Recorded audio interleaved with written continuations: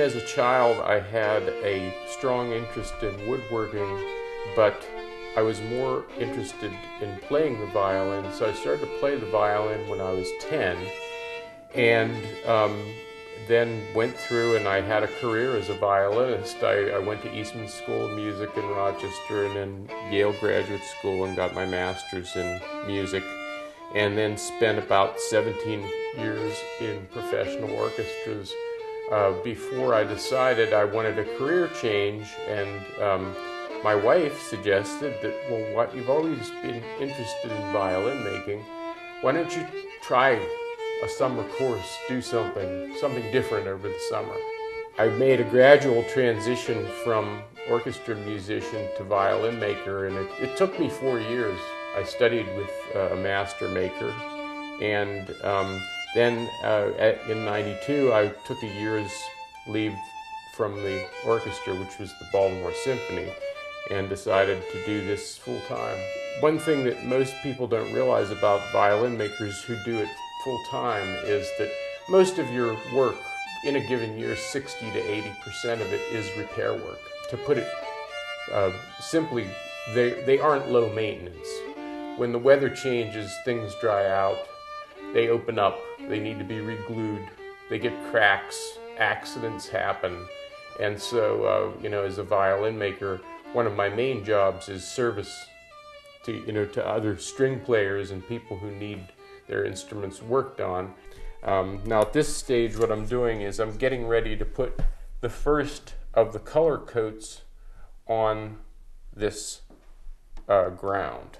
But at this point, what I have to do is I have to I have to cut this down a little bit to remove any bubbles and remove a little bit of brush texture. So I have to sand this lightly.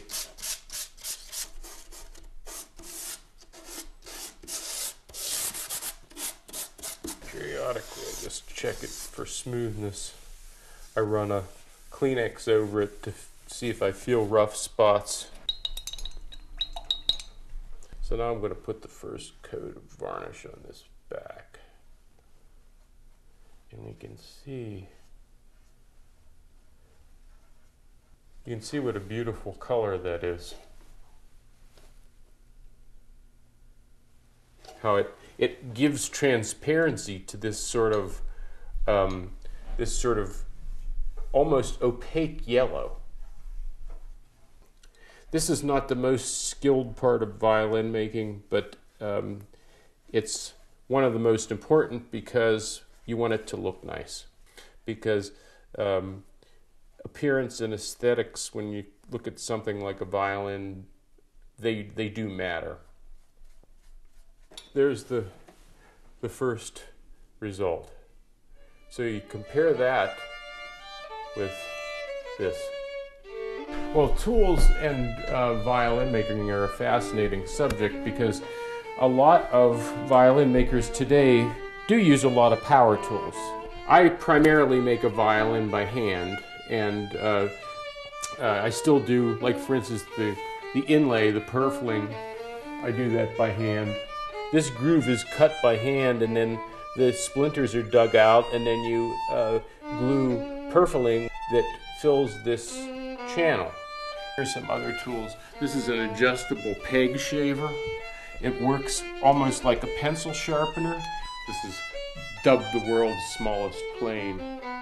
Then there, of course, there, there are the larger tools, like all the chisels and uh, rasps and files, and some tools you have to make yourself. I, I, I make my own um, carving tools, which are made from old files. Um, and uh, because I like that file steel, it cuts really well.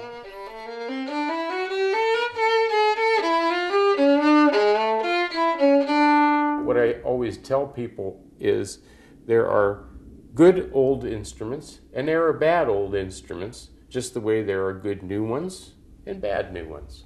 It just depends on what the maker did and how good he was.